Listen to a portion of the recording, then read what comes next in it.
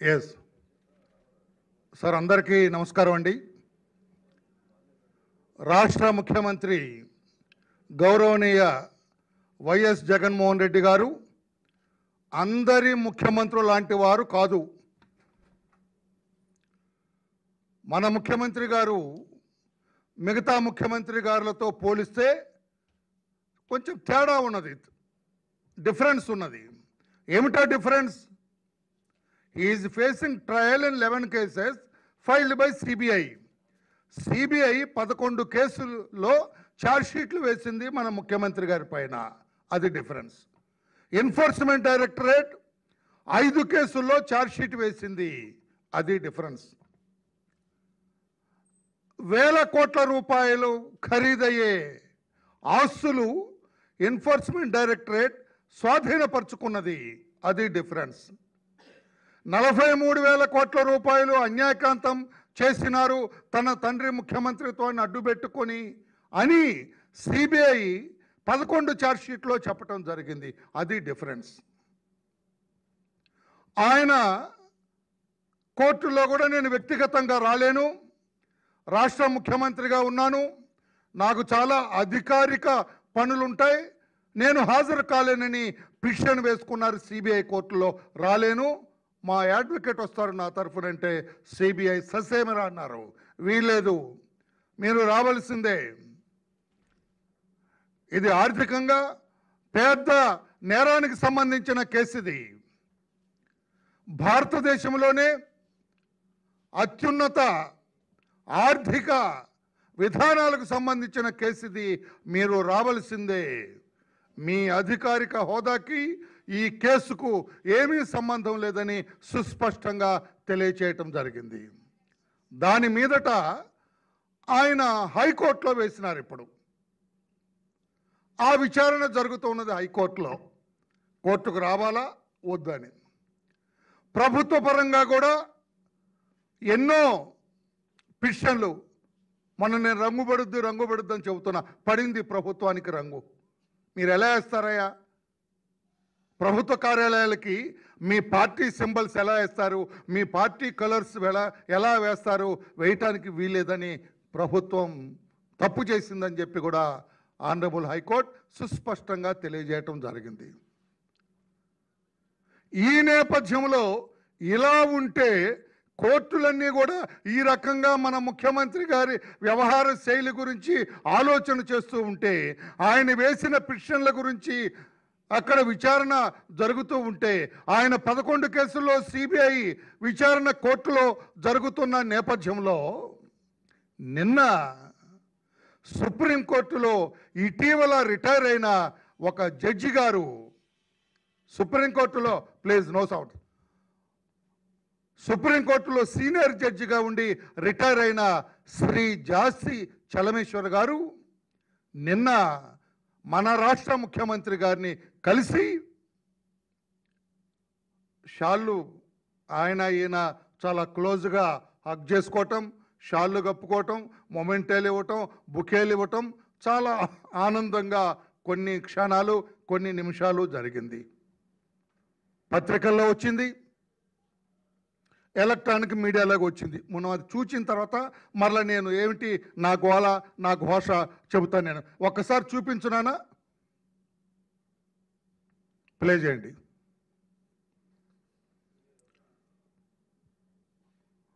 షాల్వా కప్పుతుంది. Shawl కప్పుతున్నది ముఖ్యమంత్రి గారు.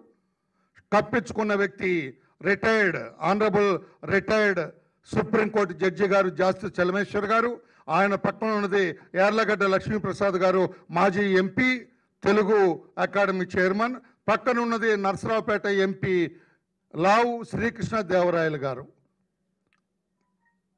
మరలా ఒకసారి చేయమా ఏంటి అట్లా అట్లా చూపించి తీసావు?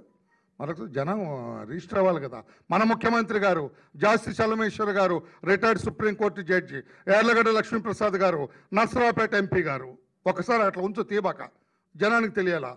ముఖ్యమంత్రి గారు నేను ఇప్పటివరకు చెప్పాను కదా పదకొండు కేసులు ఐదు ఎన్ఫోర్స్మెంట్ డైరెక్టరేట్ కేసులు కోర్టులో పెండింగ్ పిటిషన్స్ వారే మన రాష్ట్ర ముఖ్యమంత్రి గారు గౌరవనీయ జగన్మోహన్ రెడ్డి గారు. పక్కన ఉన్నది సుప్రీంకోర్టు జడ్జి గారు జాస్తి చలమేశ్వర్ గారు. షాలు కప్పారు ఆయనకి. చాలా గౌరవించారు ముఖ్యమంత్రి గారు జాస్తి చలమేశ్వర్ గారిని. పక్కన యార్లగడ్డ లక్ష్మీప్రసాద్ గారు తెలుసు ఆయన అందరికీ కూడా. మాజీ రాజ్యసభ సభ్యులు ఈ రోజున తెలుగు అకాడమీ తెలుగు భాష అధ్యక్షులుగా ఉన్నారు. వారు ముఖ్యమంత్రి గారికి అనుంగు సన్నిహితుడిగా కూడా ఉన్నారు. ఇక పక్కనున్న ఆయన నర్సరావుపేట ఎంపీ గారు ఆయన లావు శ్రీకృష్ణ దేవరాయల గారు. ఓకే కదా? ఇప్పుడు తీనానా ఫోటోల్లో కూడా పత్రిక అది ఎలక్ట్రానిక్ మీడియాలో వచ్చింది. ఇది పత్రిక తీసేమ్మా క్లోజ్ చేయను ఇది ఫోటోలు. ఈ నేపథ్యంలో నేనేం అడుగుతున్నానంటే జాస్తి చలమేశ్వర్ గారు గౌరవ సుప్రీంకోర్టు రిటైర్డ్ జడ్జి గారు మీరు నిన్న మన ముఖ్యమంత్రి గారిని కలవటం తప్పు అని నేను తప్పుపడుతున్నాను నేను. మీరు కలవకూడదు. మీలాంటి పెద్దలు గౌరవనీయ పొజిషన్లో పనిచేసిన వ్యక్తి సుప్రీంకోర్టులో జడ్జిగా పనిచేసిన వ్యక్తి సుప్రీంకోర్టు జడ్జిలకే నీతి ప్రబోధాలు చేసిన పేరున్న వ్యక్తులు మీరు? జుడిషియరీలో భారతదేశ జుడిషియరీలో చాలా పేరున్న వ్యక్తి మీరు? అటువంటి మీరు రాష్ట్ర ముఖ్యమంత్రి జగన్మోహన్ రెడ్డి గారిని కలవటం తప్పు అని నేను అంటూ ఉన్నాను. ఏ ఎలా తప్పయా ఏమి నీ ఇష్టం వచ్చినట్టు మాట్లాడుతున్నావు? అని మీరు అడిగితే నేను సమాధానం చెబుతాను మన ముఖ్యమంత్రి గారు మామూలు ముఖ్యమంత్రి కాదు కదా. సిబిఐ కోర్టులో పదకొండు కేసుల్లో ఛార్జ్షీట్లు వేశారు. ట్రయల్ జరగబోతుంది. విచారణ జరగబోతుంది. ఈ సమయంలో మీరు సుప్రీంకోర్టు జడ్జి అయి ఉండి ఇంత పేరు ప్రఖ్యాతులు న్యాయ వ్యవస్థలో తెచ్చుకున్న వ్యక్తులై ఉండి ఇంత ఇన్ఫ్లుయెన్స్ కలిగిన మీరు పదకొండు కేసుల్లో ముద్దాయి. కోర్టులో రేపో మాపో విచారణ ప్రారంభం కాబోతున్న ముద్దాయి సిబిఐ కోర్టులో విచారణ ఎదుర్కోబోతున్న ముద్దాయిని మీరు కలిసి ఆయనతో షాలు కప్పించుకొని ఆయన హక్ చేసుకొని మీరందరూ నువ్వు ఏదో నీది తినాలి మా తినాలి అన్నట్లుగా మీరు ఒకరినొకరు వాటేసుకుంటే నా చిన్న బుర్ర కనిపిస్తుంది. Is it not influencing the courts conducting trial against the honourable chief minister ముఖ్యమంత్రి గారి మీద మీకు ఇంకా కొంచెం అర్థమయ్యేటట్టు చెప్పలేకపోతున్నాను ఏంటో నాకు తెలియట్లేదు. ముఖ్యమంత్రి గారు ఒక ముద్దాయండి పదకొండు కేసుల్లో ఆయన ఛార్జ్షీట్లు ఎదుర్కొంటున్నాడు. ట్రయల్ జరగబోతుంది సిబిఐ కోర్టులో. నేనే సిబిఐ కోర్టు అనుకుందాం దయచేసి. నేనే సిబిఐ కోర్టు జడ్జిని ఈ కేసులు విచారణ చేస్తున్నా. ముఖ్యమంత్రి గారు ముద్దాయిగా ఈ పక్కన నిలబడతారు. సాక్షులు ఇటుంటారు. నాకు ఈ ఫోటో నా మస్తిష్కంలోకి వచ్చిందనుకోండి నా బుర్రలోకి ఏమనిపిస్తుంది నాకు? ఓహో ఈ ముఖ్యమంత్రి గారు జాస్తి చలమేశ్వర్ గారికి బాగా సన్నిహితుడు. అనిపిస్తుంది కదా? జాస్తి చలమేశ్వర్ గారికి రిటైర్డ్ జడ్జి గారికి సుప్రీంకోర్టు జడ్జి గారికి చాలా అనుంగు సన్నిహితుడు. నాకేమనిపిస్తుంది? నేను మనిషినే కదా? సిబిఐ కోర్టు జడ్జిగా నేను మనిషినే కదా? ఏమనిపిస్తుంది? ఇన్ఫ్లుయెన్స్ కాబడే అవకాశాలు లేవా నేను అడుగుతున్నా. మీరే చెప్పండి జాస్తి చలమేశ్వర్ గారు. మీరు ఒక ముద్దాయి ముఖ్యమంత్రిని కలిస్తే ఆ ముద్దాయి మీద విచారణ ప్రారంభం కాబోతుంటే పదకొండు కేసుల్లో ఆ ముద్దాయిని మీరు కలిసి షాళ్ళు కప్పుకొని మీరు హక్ చేసుకొని చాలా ఆనంద బాష్పాలు రాలుస్తూ ఉంటే ఏమి మెసేజ్ ఇస్తున్నాం సభ్య సమాజానికి? ఏం చెప్పదలుచుకున్నారు మీరు? మీరు కలిసిన రీజన్స్ నేను అడగట్లేదు. కారణాలు ఏమైనా కావచ్చు. కానీ వ్యవస్థలో ఏమి సమాధానం చెబుతున్నారు? ఏం మెసేజ్ ఇస్తున్నారని చెప్పి నేను అడుగుతూ ఉన్నా. చాలా it is critical question it is a question to be debated భారతదేశ వ్యాప్తంగా చర్చ జరగాలి ఇది. ఒక ఎక్యూ నేను అంటున్నాను నా దృష్టిలో ఎక్యూజుడ్ చీఫ్ మినిస్టర్ నేను కాదంట్లా ఎక్యూజుడ్ చీఫ్ మినిస్టర్ ఆయన్ని మీరు కలిస్తే ఇన్ఫ్లుయెన్స్ చేసినట్టు కాదా? ఇన్ఫ్లుయెన్స్ చేసే అవకాశం లేదా? ఇలా పెడతాను నేను. అవకాశం లేదా? ఎంతో సీనియర్ జడ్జ్ అయిన మీరు ఒక హావభావాలండి.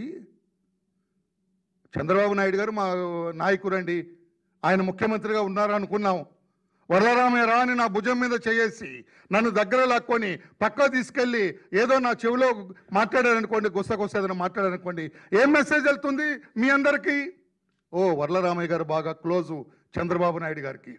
భుజమే చేసి మాట్లాడారయా దగ్గరకు తీసుకొని మాట్లాడారయా వాళ్ళిద్దరు ఏదేదో మాట్లాడుకున్నారయా అని రేపటి నుంచి నా గౌరవం పెరగదా పార్టీలో? సింపుల్ ఒక భుజమే చేసి దగ్గరకు తీసుకుంటేనే నా ఇన్ఫ్లుయెన్స్ పెరుగుతుంది పార్టీలో. నా గౌరవం పెరుగుతుంది పార్టీలో. నా ఇమేజ్ పెరుగుతుంది పార్టీలో.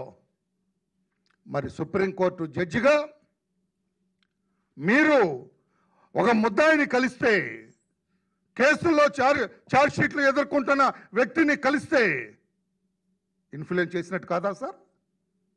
నేను అనుకుంటున్నాను నేను. ఎన్ఫోర్స్మెంట్ డైరెక్టరేట్లో ఐదు కేసుల్లో చార్జ్షీట్లు ఎదుర్కొంటున్నారు ఆయన. ఇన్ఫ్లుయెన్స్ చేసినట్టు కాదా?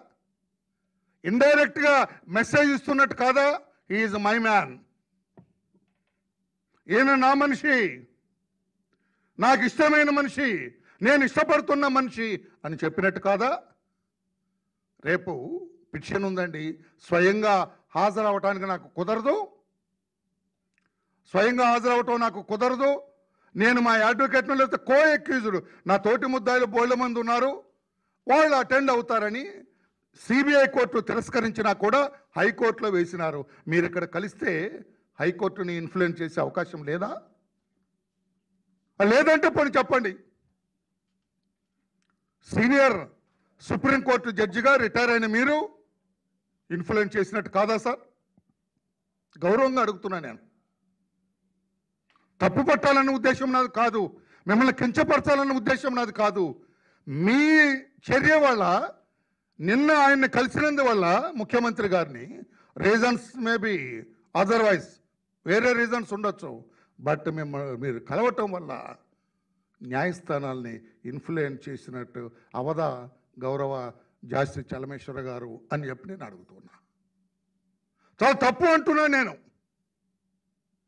కాస్తో కూస్తో ఈ కోర్సు గురించి తెలిసిన వ్యక్తిగా మీరు నిన్న కలవకూడదు ఆయన్ని. రాదు అందులో ఒక పక్కన ఒక ఎంపీ ఒక పక్కన మాజీ ఎంపీ ఒక పక్కన ముఖ్యమంత్రి. మీరు వెళ్ళి కలిస్తే ఏంటి? ఏమి? సభ్య సమాజానికి రాష్ట్రానికి రాష్ట్ర ప్రజలకి ఏం మెసేజ్ ఇస్తున్నారు సార్ మీరు? ఏం చెప్పాలనుకుంటున్నారు సార్ మీరు? లేకపోతే ఇండైరెక్ట్గా ఎవరిని ఇన్ఫ్లుయెన్స్ చేయాలనుకుంటున్నారు సార్? ముసిముసి నవ్వులు నవ్వుతారా అసలు మీరు వెళ్ళటమే తప్పు. How can meet a person how can you meet a known accused facing trial in so many cases అబ్బాబే ఆయన మీద కేసులు ఉన్నట్టు నాకు తెలియదయ్యా. అంటానికి లేదు కదా. మన భారతదేశం అంతా కోడేకొస్తుంది ఆంధ్రప్రదేశ్ రాష్ట్ర ముఖ్యమంత్రి మీద కేసులు ఉన్నాయి. పదహారు నెలలు జైల్లో ఉన్నారు. ఇవన్నీ తెలుసు కదా. అటువంటి ఎక్యూజుని ఒక ముద్దాయిని ఇన్ని కేసుల్లో ఛార్జ్షీట్లు ఎదుర్కొంటున్న వ్యక్తిని హైకోర్టులో పిటిషన్స్ ఇమీడియట్ పిటిషన్స్ జడ్జిమెంట్ కోసం వేచి ఉంటున్న పిటిషన్స్ పెండింగ్లో ఉన్న వ్యక్తిని మీరు కలిస్తే ఏం మెసేజ్ ఇస్తున్నారు సార్? ఏం సమాధానం ఇస్తున్నారు సార్? మీ చర్యల వల్ల వారందరూ ఇన్ఫ్లుయెన్స్ అయ్యే అవకాశం లేదా? ఉందని నేను అంటాను నేను. లేదా? ఉందో లేదో పక్కన పెడదాం. మీరు అవకాశం ఎందుకు ఇస్తారు? మీరు కలవకపోతే ఏంటి? రేపు కోర్టులో తీర్పు వచ్చిన తర్వాత నిర్దోషిగా బయటకు వచ్చిన తర్వాత కడిగిన ముత్యంలాగా బయటకు వచ్చిన తర్వాత నిప్పులో కాలిన బంగారంలాగా బయటకు వచ్చిన తర్వాత పది సార్లు కప్పండి. అప్పుడు తప్పు లేదు. ఇప్పుడు వెళ్ళటం తప్పు అని చెప్పి నేను అంటూ ఉన్నా నేను. మీరు వెళ్ళకుండా ఉండవలసింది అంటున్నా నేను. మీరు వెళ్ళటంలో ఔచిత్యం ఏమిటని చెప్పి నేను అడుగుతూ ఉన్నా. ఎవరికి సాయం చేయాలని వెళ్ళారంటున్నా నేను. నేను అంటున్నాను ఈ రోజున ఆయనకి సహాయం చేయటం కోసమే. For the reasons best known to you మీకే తెలియాలి. ముఖ్యమంత్రి ఈరోజు కోర్టుల్లో కేసులు ఎదుర్కొంటున్న వ్యక్తి. సిబిఐ కోర్టులో రేపో మాపో సాక్షుల విచారణ ప్రారంభం కాబోతూ ఉన్నది అటువంటి వ్యక్తిని మీరు కలవటం ఆయనకి కోర్టుల్లో న్యాయస్థానాల్లో సాయం చేయటం కోసమని చెప్పి నేను అంటున్నా indirectly Subscribe us and press the bell icon for more interesting updates.